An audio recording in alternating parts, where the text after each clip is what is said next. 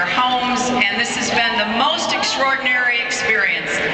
We've got two full days until Thursday comes, and then Iowans are going to start to pick the next president. And I am excited and energized by that. Now, in the new year, we think about New Year's resolutions. Well,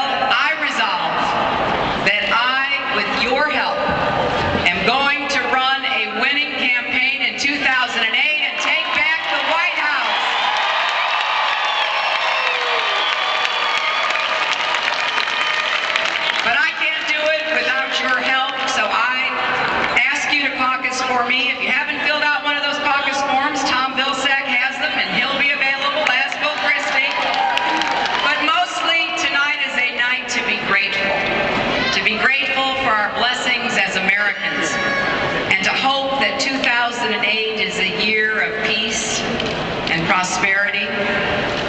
And together, we will do everything we can to make it so. So please, from our family to yours, have a wonderful New Year's Eve. And let's have a great 2008.